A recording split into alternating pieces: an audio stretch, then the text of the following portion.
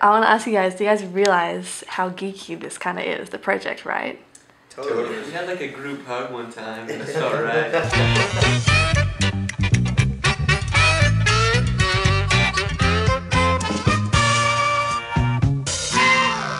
It's been over seven months since we decided that we were on the road to the Shire. We're quite literally on the road to the Shire right now, hours away.